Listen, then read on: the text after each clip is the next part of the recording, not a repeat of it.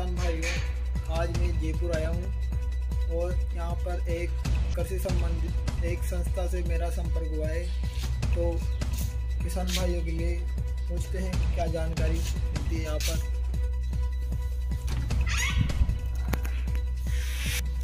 नमस्कार सर।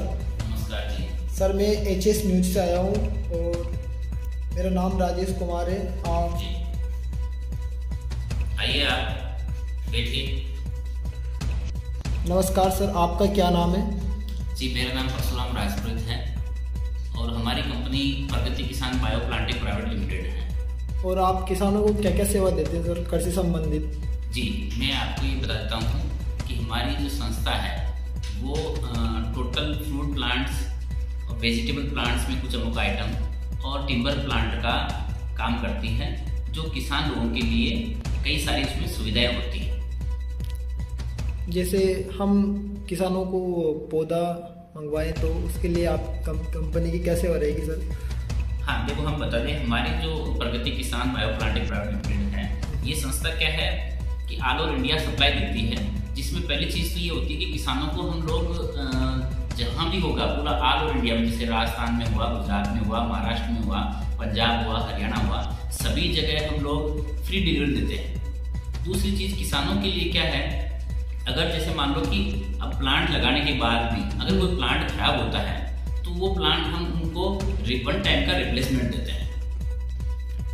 अगर कोई किसान भाई आपकी कंपनी से पेड़ मंगवाए तो कैसे लेंगे हाँ उसके लिए ऐसा है। हमारे पास कंपनी की आ, तीन तो वेबसाइट है।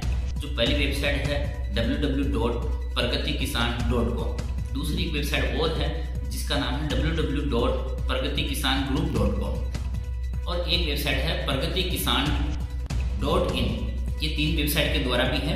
और अगर किसान भाई चाहे तो अपने मोबाइल के अंदर प्रगति किसान के नाम से एक ऐप है उसको भी डाउनलोड कर सकते हैं। जो हमारी संस्था का लोगो लगा हुआ है उस लोगो के आधार पे आपको उसमें एक ऐप डाउनलोड हो जाएगा। तो उस ऐप से भी किसान लोग उसमें कौन सा प्लांट चाहिए उसमें सारी जानकारी है। उसमें ये भी है कि आपको कब लगाना चाहिए कैसे लगेगा कितना उसकी आमदनी है, ये सारी जानकारी उसके अंदर अवेलेबल रहती है। दूसरी चीज़ हमारे यहाँ से टोल फ्री जो नंबर है हमारी सेवा में, वो जो नंबर है लैंडलाइन का, उस पर आप कभी भी चौबीस घंटे कॉल कर सकते हैं।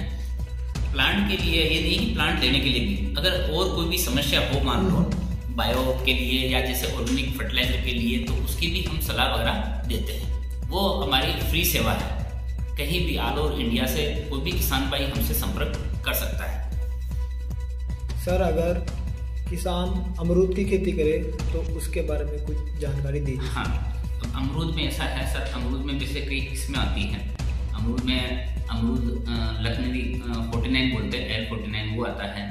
थाई पिंक आ रहा है आजकल थाई सेवन आता है और ललित करके आता है। तो कई सारी वेराइटी हैं लेकिन मैं आपको आज सरदार लखनवी के बारे में बताता हूँ। ये जो प्लांट होते हैं ग्राफ्टिंग प्लांट आते हैं। और ग्राफ्टिंग होने की वजह से क्या है इनके अंदर मतलब जल्दी फ्लोरिंग आता है। जैसे कोई पहले देसी अमरूद लगाते थे तो देसियों में क्या है चार से पाँच साल छः साल के बाद में फ्रूटिंग आती थी। और अब जो एल फोर्टी नाइन जैसे मैं बता रहा हूँ आपको ये अमरूद क्या है खासियत कि ये ग्राफ्टिंग वगैरह आते हैं तो ग्राफ्टिंग की वजह से इनकी जल्दी फ्रूटिंग आती है। ये क्या है अधिक शाखा युक्त होते हैं इलावदार में भी अधिक फलन वाले होते हैं। तो ये मोस्टली क्या है कि एक साल में आपको फल देना शुरू हो जाते हैं। किसानों को क्या है कि आज का समय क्या है एक तो पानी भी कम हो गया है। और पानी कम होने की वजह से दूसरी फ़सलें क्या है उनको लगाने में ज़्यादा टाइम जाता है ज़्यादा एक्सपेंस जाता है। अब ये जो बागवानी है इसमें जैसे एक टाइम अभी लगा दी फ़सल तो उसको 25 से 30 साल तक देखने की ज़रूरत नहीं है। तो ये अमरूद जो है क्या है कि इसकी अभी जो एयर फोर्टी नाइन अमरूद आ रहा है, उसकी खासियत है कि उसमें बीज कम आते हैं, फल मुलायम होता है और वाइट अंदर से वाइट होता है। अब इसकी रही बात की उत्पादन कितनी होती है, कितने टाइम में आता है तो एक वन ईयर में चालू हो जाता है। और इसकी उत्पादन जो है स्टार्टिंग में 25 से 30 किलो से शुरुआत होती है। जब ये जैसे कि दो तीन साल में बड़ा हो जाता है तो 80 से नब्बे किलो तक इसकी वज़न की मात्रा हो जाती है। बाकी इसका देखो बाग का रख रखाव है बरसात के बाद ज़्यादातर पेड़ों के ऊपर पत्ते पीले पड़ने लग जाते हैं।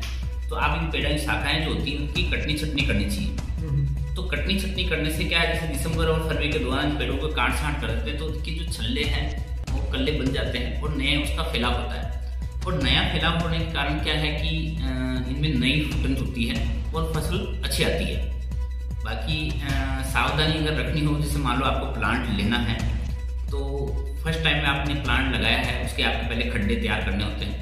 आप खड्डे अगर अमरूद के पौधे लगा रहे हैं तो एक बाई एक के खड्डे कर सकते हैं। और उन खड्डे को करके आप उनमें पौधा रोपण कर सकते हैं। आप चाहे हमारे यहाँ से मंगा रहे हैं, चाहे दूसरी जगह से भी पौधे मंगा लें तो आप पौधों को ज़्यादा दिन रखे नहीं, उसमें आठ से दस दिन के अंदर ही पौधे लगा लेगा ठीक है? दूसरी चीज़ क्या है, जैसे मान लो कि उसके अंदर जैसे हमारी सुविधाएँ तो है, जैसे हम लोग तो जो प्रगति किसान संस्था है उसकी सुविधा ये है कि हम एक से दो वर्ष तक टेक्निकल सर्विस देते हैं।